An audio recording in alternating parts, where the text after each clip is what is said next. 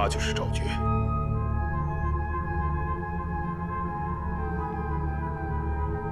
M 幺五幺晋升器，M 幺五幺晋升器，M 幺五幺是专门给囚犯戴的晋升器，只要你戴上后，不管怎么喊，也不会发出一点声音，而且也是个电子狗圈。电子狗圈，还挺形象的。这只是个戏称，M 幺五幺只要超出范围内，就会有百秒倒计时的时间，时间一到，就会爆炸。这么不人道？不人道？他就是用声音杀人的。想要用这种办法困住他，那要是万一被他逃脱了怎么办？除非重新连上信号，不然他必死无疑。赵觉，我带孩子们来看你了。他们就是齐天和宇文的孩子。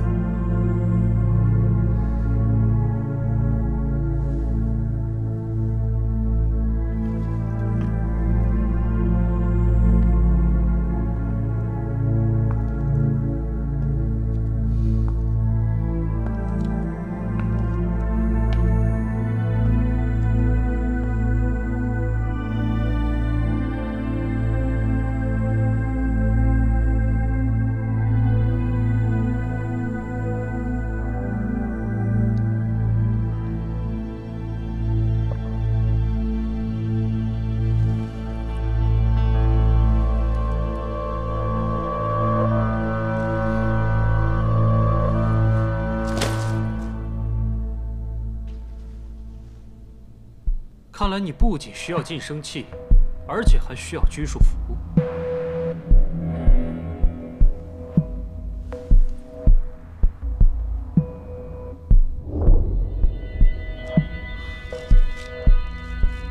boss，我想看一下他的病历报告。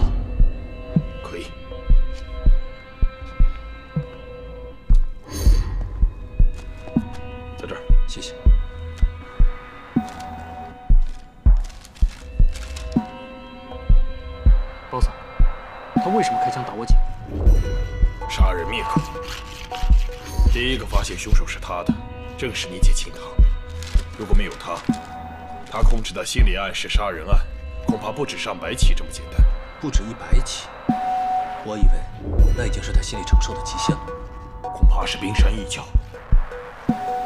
不过你们的调查重点都放在他的身上，我想你们的案件很难推进。毕竟他关在这里二十多年了，没有任何与外界交流的机会。我相信那些数字绝对不是巧合。我也觉得是。不如这样，我出去把其他报告拿给你们，你们等我一下。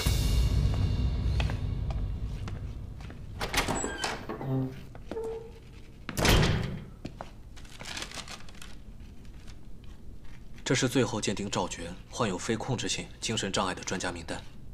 你看，许教授，就是那个许教授。没错。如果当年没有这个鉴定书的话，相信赵觉一定会判死刑。